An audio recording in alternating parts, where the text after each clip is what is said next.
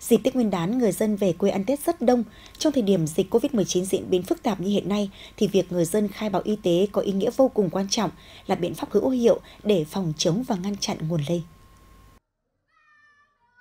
Từ khi phát hiện các ca nhiễm trong cộng đồng tại các tỉnh Hải Dương, Quảng Ninh, Hà Nội, trạm y tế phường Thanh Bình, thành phố Ninh Bình đã lấy kết quả khai báo y tế của 115 trường hợp trở về từ các địa phương trên cả nước. Qua đó đã phát hiện một trường hợp F1, 44 trường hợp người đi từ vùng dịch trở về. Trong dịp Tết Nguyên đán, Ban chỉ đạo phòng chống dịch COVID-19 của phường đã tăng cường lực lượng bám sát địa bàn để kịp thời phát hiện các trường hợp đi về từ vùng dịch.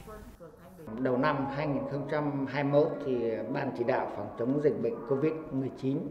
của phường Thánh Bình thì đã kiện toàn lại cái ban chỉ đạo. Cái vấn đề thứ hai này, kiện toàn lại cái tổ COVID. Thì trên toàn phường thì là có 53 tổ COVID và cái đẩy mạnh cái công tác ờ, chuyên truyền bằng nhiều hình thức, trong đấy có trực tiếp và gián tiếp cái công tác ừ, khai báo y tế rất là quan trọng trong cái việc mà phòng chống dịch bệnh ở địa phương.